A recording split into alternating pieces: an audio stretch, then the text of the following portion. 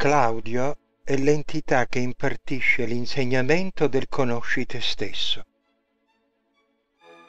Voi mi ricordate che anche Claudio ci parla del divenire dell'uomo, certamente per farci capire che l'uomo deve sentirsi un essere, non un divenire. Voi pensate alle fasi successive della vostra esistenza come a delle promozioni in carriera, come un impiegato può passare a diventare capo ufficio direttore cambiando le sue mansioni, ma non il suo essere. Non si raggiunge mai un nuovo essere col divenire. L'essere è del sentire, della coscienza, per voi del corpo acasico, il divenire è del corpo mentale.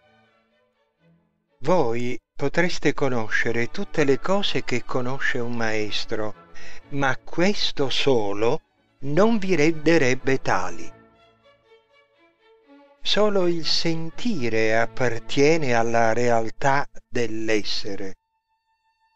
Così quando osserviamo un'esistenza individuale nelle sue fasi comprese dal selvaggio al superuomo, noi non osserviamo un selvaggio che diviene superuomo, ma osserviamo le molteplici fasi di esistenza, cioè di essere, di quella individualità.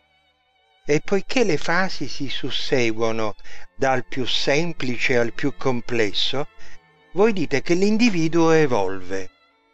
Noi pure lo diciamo. Le parole sono le stesse, ma ciò che vogliono significare è profondamente differente.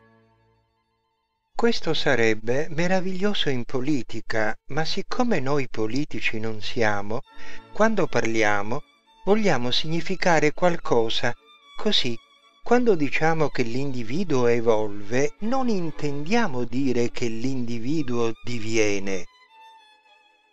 Un'esistenza individuale è già tutta completa in sé, niente può aggiungersi ad essa.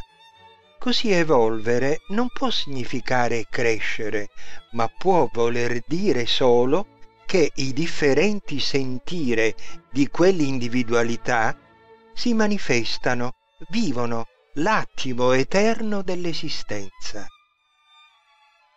Ciò è incomprensibile se si crede che l'emanato si sviluppi in un tempo oggettivo staccato da Dio, vivente una realtà senza tempo. Ecco l'errore fondamentale che ha afflitto le teologie di tutti i tempi e di tutti i popoli l'emanato fa parte integrante di Dio. La sua esistenza fa parte dell'esistenza di Dio. Ecco perché non può esservi un reale divenire nell'emanazione.